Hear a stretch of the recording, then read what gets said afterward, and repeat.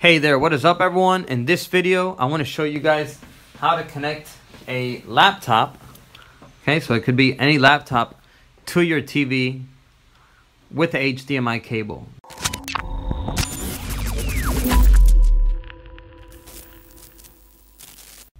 Hello everyone, welcome to Cellular Pros. In this channel, we do tech reviews and tutorials. So if you're new to the channel, I welcome you to subscribe.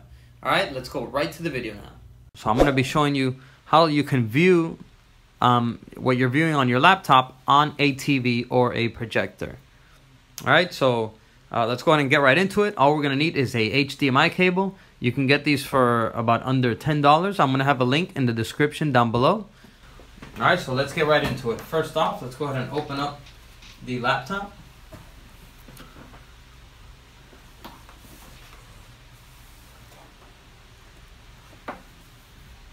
Okay, so go ahead and power the laptop on and power on the TV as well. Okay, the TV is already powered on. Um, it's showing a black screen because I have it on the correct HDMI um, channel. Okay, so first thing you're going to do is connect one end of the HDMI cable to the TV. Okay, so this one is already connected. As you can see, it's already connected back there to the TV on an HDMI port and then connect this side of the port to the laptop. Okay, and this will work for any laptop as long as it has a HDMI port. All right, so it looks like after a few seconds, uh, the uh, computer will automatically send it over, send the imaging over to the uh, TV. So as you can see, I am now viewing what's on my laptop on my TV. Okay? Um, all right, but either way, let's go ahead. I want to show you how to do it in case it doesn't do it automatically. So we're going to have to go and do it through the settings. So it's very simple. All we're going to do is uh, just right click on your computer here and go and then go to display settings right here. Display settings. Okay, so once you're here in display settings, what we're going to do is we're going to scroll down to where it says multiple displays. And then here we're going to select um, duplicate this displays. So what that's going to do is that it's going to duplicate what's on your laptop to the TV. Okay, if you select extend these displays, then it's going to um, create like two displays for the uh, laptop. So let's go ahead and do it so you can see. Keep changes. So as you can see, this is one display right here on the laptop, but if I scroll the mouse over, it goes into this screen right here.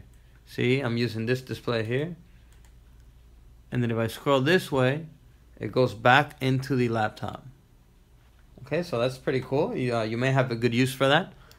Um, let's uh, let's go back to display settings. Another thing you could do is you can select show only on one, so that will show only on the laptop display here or you can also show only on two. So that's going to show only on display number two which is the TV right now.